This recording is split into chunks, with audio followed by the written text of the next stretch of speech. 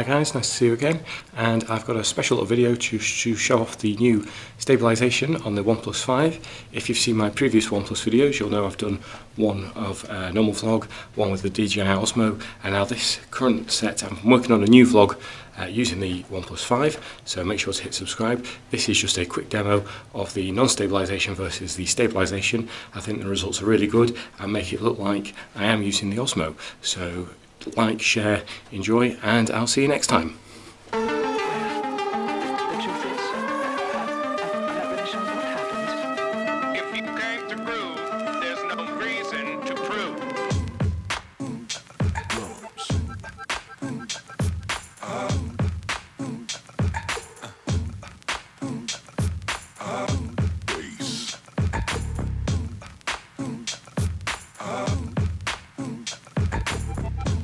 You've got yourself something funky.